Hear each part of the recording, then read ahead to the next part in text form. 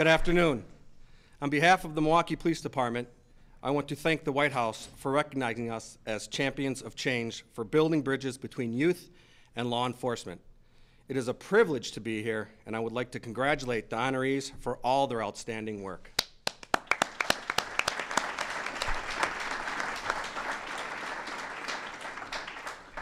The Students Talking It Over with Police program from the City of Milwaukee is a seven-week program facilitated by police officers that teaches youth about law enforcement.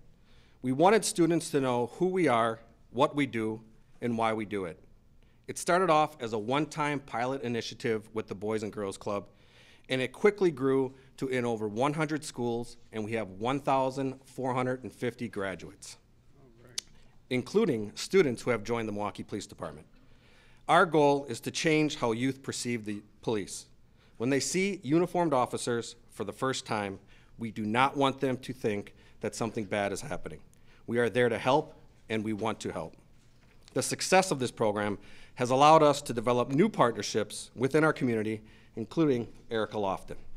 At 14 years old, Erica is the CEO of her own nonprofit and is working hard to reduce violence in our community.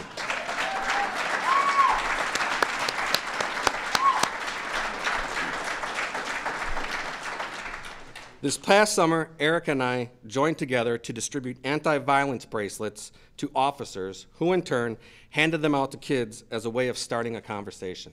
To date, our officers have distributed over 1,800 bracelets.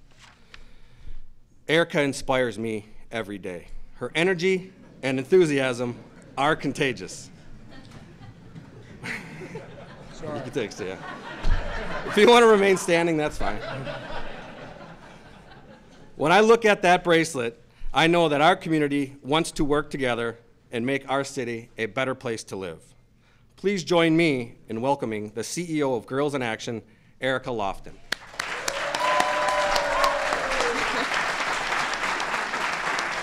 Thank you. Thanks, Officer Singleton. Now, before I get started, I want to thank Girls in Action members and their moms. If it wasn't for you, it would just be a girl in action, and that would be lonely. and a very special thanks to one of the leaders of Girls in Action, Miss Ariana Mills, who came with me today. Can you please stand up, Ariana? Let's give her a hand. She is a very She's a very dedicated member into Girls in Action, and I'm just very thankful for you being here. Like officers, no, I'm very excited. I'm very excited stoked, delighted, and very honored to be here in the White House. And this is so surreal to me. like Officer Singleton said, my name is Erica, and I'm the CEO of Girls in Action, where we use teamwork to promote manners, self esteem, social and communication skills, and we have fun. But the main mission is to help young girls become leaders. Last year, we lost a member to Girls in Action in a playground shooting. She was only 10 years old. After seeing this happen to my friend, along with other senseless deaths and shootings of children in my community, I worked with Girls in Action to come up with a solution to violence in Milwaukee. We designed a pledge bracelet that says, I don't commit violence, I speak out against it. We've given them to the Milwaukee Police Department, a juvenile justice reentry program, and the Milwaukee, the Milwaukee County Department of Corrections. The feedback has been really good, and one probation officer even said, and I quote, the offenders have started to use the offenders I have started to use this have appeared to really like it. Now, you may be wondering why I chose to work with the MPD. When a citizen sees an officer wearing the bracelet, that will send a message of trust, a positive message. And if the youth get positive messages from the MPD, there will be more trust and a mutual respect for one another. I must say, it feels good to know that something as simple as a violence prevention pledge bracelet can help bridge gaps between youth and law enforcement. For that, I am grateful, and I hope our campaign makes a positive impact on violence. Now, it is my pleasure, pleasure to introduce someone who has been described as a champion for all of us and has spent decades in public service. The Vice President of our United States of America, Vice President Joe Biden.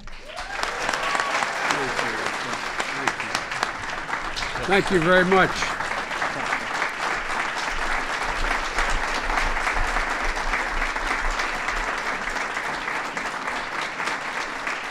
Erica, we're clapping for you.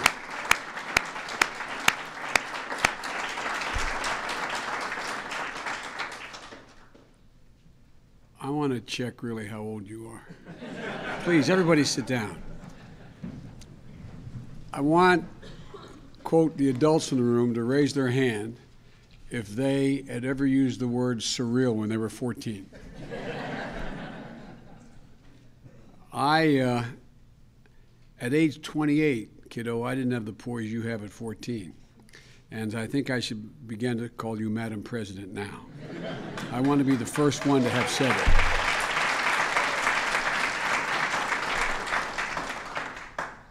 Folks, you know, uh, uh, the more time passes, the more things, uh, going back to what existed before, as you know, buddy. What we're really talking about here, and I got a chance to meet all of the champions of change. And by the way, for those of you who don't know, uh, the White House does this not just for law enforcement, but all across the spectrum. People who are champions of change and everything from technology to healthcare to a whole range of things. But this is, uh, this is an issue that is uh, um, what we're doing today is using all of you who are here today being honored as evidence of what we've already known but has sort of fallen by the wayside. Way back uh, 150 years ago, when I wrote the crime bill, everybody today talks about it like it was about increasing penalties. It didn't increase penalties. States did that and a lot of other things, the Sentencing Commission arranged, but not the crime bill. A third of all the money in the crime bill was for prevention we tried to divert children from prison, young people from prison, and with drug courts we set up. They weren't supposed to be put in prison. They were supposed to go into drug courts and be referred to rehabilitation centers and get help. And the essence of the legislation was a very controversial notion back uh, in 1994. It was called community policing. And, you know, uh, Chief Bratton, Commissioner Bratton up in New York, who was a commissioner in Los Angeles and a commissioner in Boston, he's had a number of uh, uh, important jobs. He told me a story about there was a woman who, uh, an African American activist in Los Angeles, who every time he'd see, she'd see him, she'd use a Maasai. The, the Maasai tribe in Africa had an expression when they see you, when, when they greet you. And the expression is translated to English I see you. I see you. That's the opening greeting. I see you. What it means is I value you. I see you. I respect you as another human being. I see you. The problem today, because we cut funding for community policing nationally beginning in the beginning of the Bush administration by 87 percent, it's awful hard for these law enforcement agencies to have people walk in the neighborhood being out. It's a in- highly intensive, uh, resource intensive undertaking. It used to be, when we first passed that legislation and put another 100,000 law enforcement people on the street, the only way a police department could get federal funding for a, a cop at the time, a police officer, was they had to add to what already their roster was. They couldn't replace police officers, and you had to be out in the community. And violent crime dropped precipitously around America because law enforcement officers did what you all are doing now. They set up skateboard parks. They provided for criminal justice training in, uh, in schools. They talked about going through the neighborhoods and reaching out to people and ending homelessness. That's what used to happen. It used to be, at a time back from 94 to about 2001, police officers knew the name, not generically, knew the name of the man or woman who ran the corner grocery store, knew the name of the people who lived on the block, gave their card to those individuals and said, if there's a problem, call me directly on my cell phone. And people did. Because they knew the law enforcement officer wasn't going to give the person away. I remember one case in Philadelphia. A woman had a lot of drug activity outside her apartment on the corner, a particular corner. But she knew if she called the police directly, they'd, they'd show up, say that she had reported them, and then when those guys got out of jail, they come back and get her. So when the local police officer doing community policing had given her his card, she knew that when she dialed that number, frightened dialing the number, and saying there's action going down, there's a drug deal going outside my house, he'd never give her away. He'd never give her away. I was with Chuck Canterbury, who's the uh, head of the FOP, just a moment ago in my office. Three of the officers, I think, today are members of the FOP. He was telling me when the crime bill was passed, the community policing was passed, in his hometown, the police department he still belongs to, that they set up in every neighborhood, like in Wilmington, Delaware, my hometown, mini precincts. Just an abandoned house, a place where they everyone knew that the local law enforcement officer would be there. He said, and we ended violent crime basically in the neighborhood. He said, now my son is a police officer, and that house I used to work out of is a crack house. There's no law enforcement officers in the community because we've cut their funding. I can't get a hard estimate of how many local law enforcement officers, local departments have been cut or unable to fill their quotas because salaries are flat. The job is tough. So, one of the recommendations when we put together, the president put together this task force on what should we be doing. It wasn't just body cameras and all the things, and and not riding into town with an up armored Humvee into a neighborhood, et cetera. He said we are going to focus on community policing, drug diversion. There's no reason why nonviolent criminals, kids of the first offense, should be in jail for a drug offense people were designed to put in jail were the dealers. There's a whole lot more we could talk about. But the thing I'm so happy about being here, it is not hyperbole to suggest that you officers are here today are champions of change. I know the Portland example because my son, out of college, ran a emergency service shelter in the largest abandoned, basically Catholic parish and Catholic high school out there, joining the Jesuit Volunteer Corps. People are in the streets, touching people. I see you. I see you. What's happened now? A lot of the neighborhoods that need the most help, the community doesn't see that law enforcement officer sitting in her squad car. They don't know that she has two kids at home and loves to play basketball. And the law enforcement officer in a tough neighborhood looks at a corner and sees a kid with dreadlocks and sees a gangbanger instead of a kid who has the opportunity to be a great poet or author. I see you. The truth is, we're not seeing each other anymore very much. And so, the uh, whole idea of the President's task force and the 21st century policing is get more police officers into the communities to better know the residents, to work together to make neighborhoods safer. This is a great idea, kiddo. I'm not joking, because you're exactly right. The value isn't that the person who wears it is committed. The value is, in large part, a police officer wears it and says, I get it. I understand the neighborhood. My son used to be the Attorney General of the state of Delaware.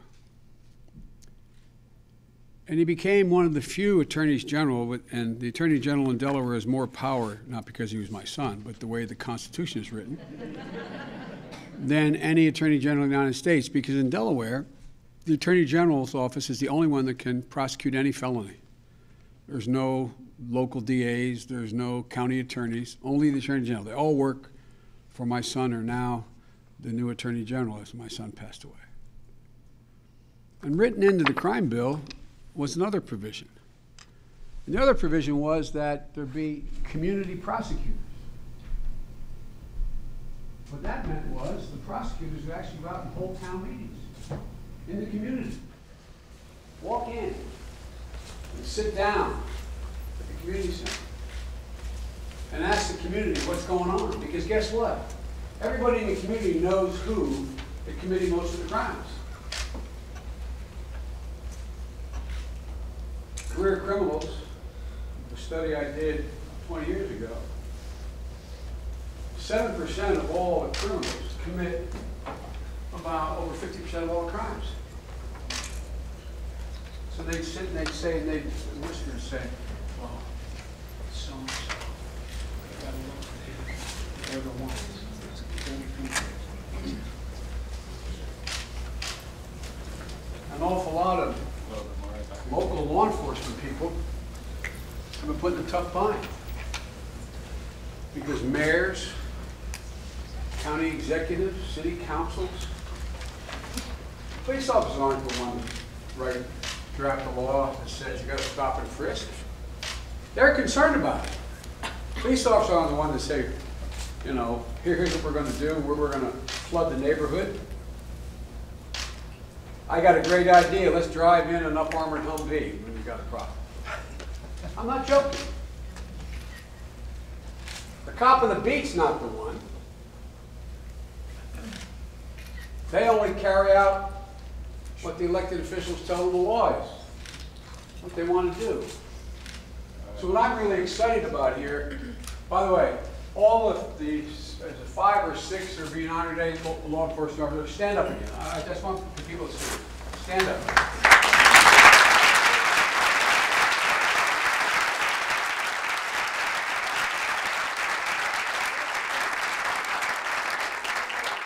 I don't want to just, I don't want you to just re- recognize the people are doing good. These folks went out and said, I got an idea. I got an idea. I figured out how we got to get engaged in the community. They didn't sit in their cars or their offices. They went out and the community. There's a great skateboarder, this young man. You say, oh, a skateboard, what's that? Guess what? You guys can down. Guess what? You know what I found out when I wrote the crime bill?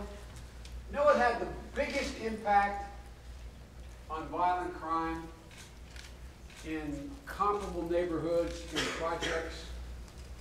And then we, we compared four neighborhoods where the public housing project existed, high rises. Where there was a, in the basement of the high rise, the Boys and Girls Club, the violent crime rate was down over twenty-seven percent.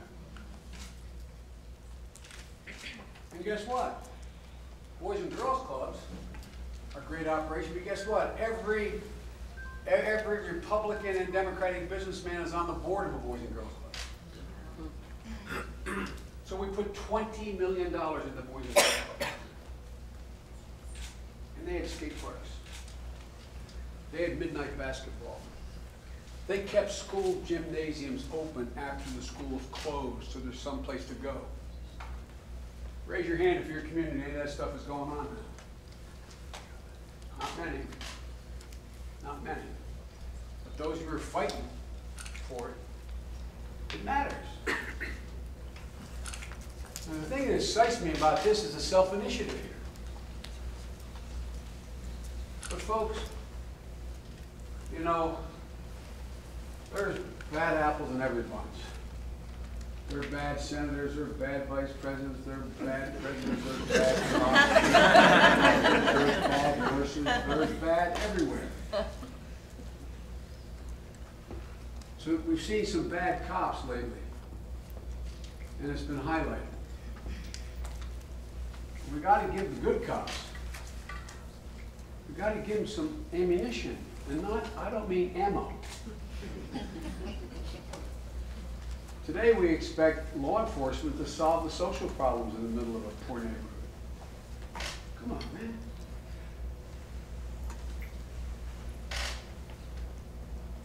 I have really nicely written statements my, my staff draft.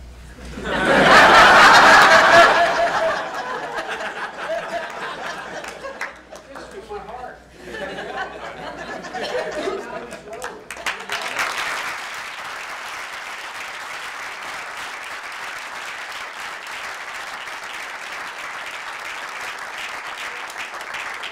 think I make all of you here today are concerned about the neighborhoods, concerned about kids in the neighborhoods. You know, there was that famous thing when I was a little kid, like at, you know, five, six, seven, eight years old, there used to be a thing about Boys Town. And it was out in Indiana, I think. And there, were- and, and there was a great line where a little boy is carrying his little brother. And he's saying, he ain't heavy, father, he's my brother.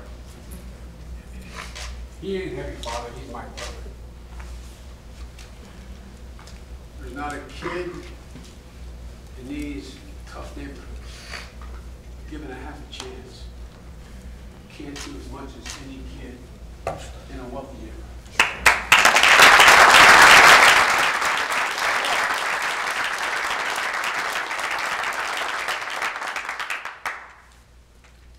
I say champions of change,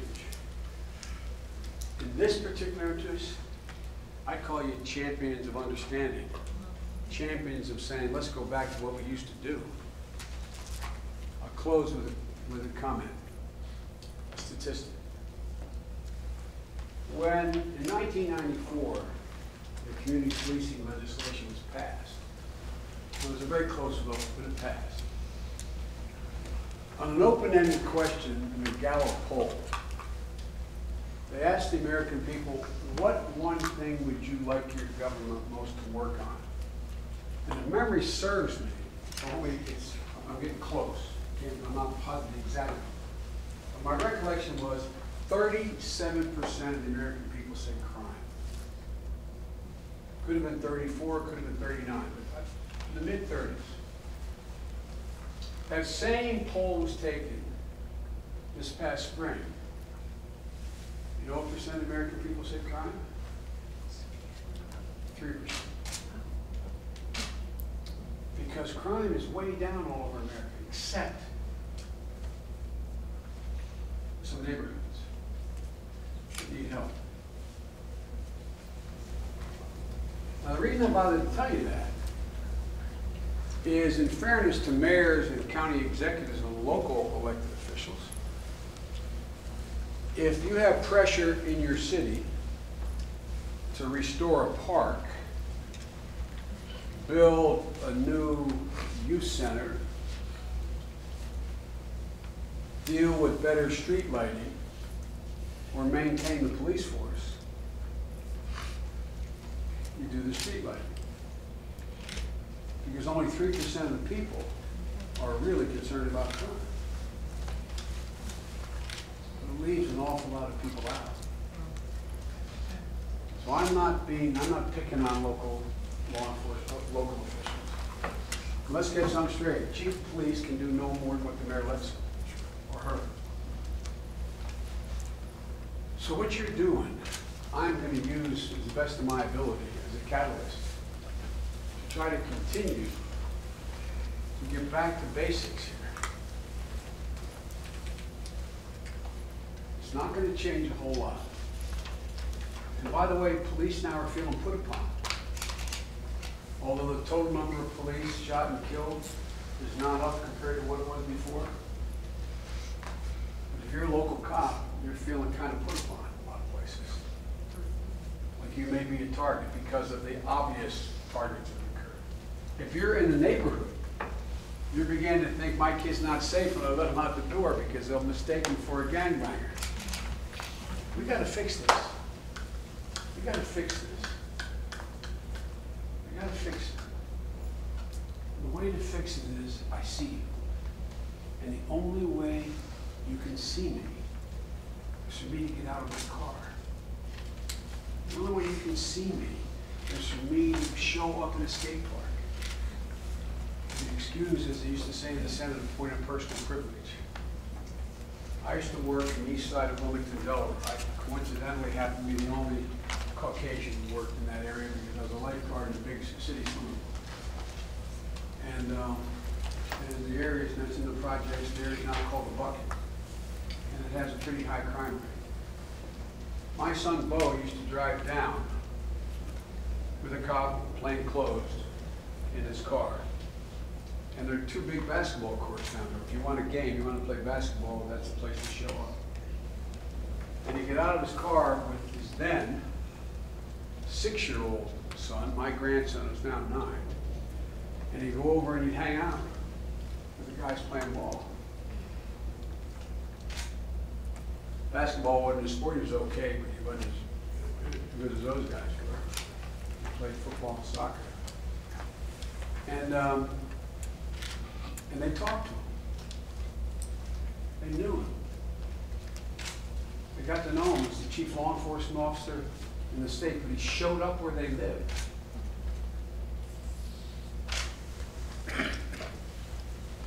And he'd occasionally, there might be a patrolman in the city, he'd go over and knock on the window and say, get out of your car. Get out of your car. You know what I'm talking about. So we gotta change the atmosphere, guys. We have, we have an obligation to keep every citizen in our cities, our counties, our safe. The single best way to do that is for to actually build a relationship. No, not every police officer has to be a social worker. We ask an awful lot of them already. But just let us who you are. It's still dangerous. It's still dangerous. The danger goes down in direct proportion to the community believing you are here to help me. You're here to help me. You're here to protect my children. You'll be able to know the difference between my kid and the kid with the Glock. So guys, all of you are here to honor the people are honored today, I say stay with it. Because we're, we're, we're gonna grab hold of this. President and I are absolutely committed, absolutely committed. Law enforcement officers, decent, honorable women and men. The vast, vast majority are doing everything in their power to make communities safe and honor the Constitution. And honor the Constitution. And the vast majority of people in the neighborhoods decent, honorable people. We just want it to be right. There's a small percentage that are a criminal element that is real. There's a small percentage of law enforcement who abuses their power. We can't let that cloud our vision about what this is all about. I'm sorry to take this much time. And I'm really not sorry, because I need, we need you. We need the people in this room. We need the law, enforcement. I'm telling you. Every one of the law enforcement organizations I've been working with for longer than you can imagine. Ask any one of them, ask the press, ask any one of them, whether I've ever not been absolutely straight about what's going on. We want to do it the right way. We've got to give them the resources,